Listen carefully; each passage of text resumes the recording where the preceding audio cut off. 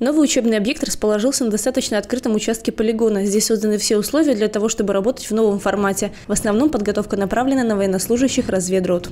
Сигнал. Вперед. С целью подготовки военнослужащих мы готовим их на этом учебном месте. Вот. Э, Командиры подразделений должны быть обучены организации порядку проведения этого занятия на этом учебном месте.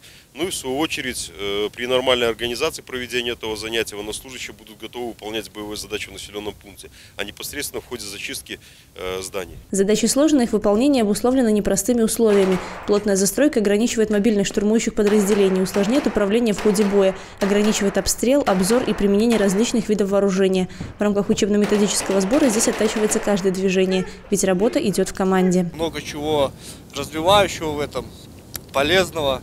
В основном занятие акцентировано на то, чтобы мы больше могли ориентироваться и работать в населенных пунктах, досмотр зданий, помещений, там, заложников, освобождения каких-то, или в целях, э, допустим, занятия нами в дальнейшем какого-то сооружения. Без сомнения, в населенном пункте гораздо предпочтительнее держать оборону, чем штурмовать, особенно если есть возможность подготовить позиции заранее.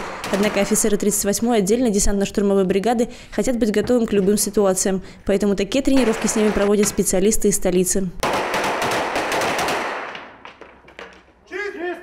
Учебно-методический сбор проходил на полигоне на протяжении двух дней. Кроме задания боя в городе, военнослужащие отработали ряд упражнений по огневой тактической подготовке водительским навыкам. Анастасия Ноздрин, Плотницкая, Павел Малашонок, Дмитрий Лазарчук, телекомпания БУК-ТВ.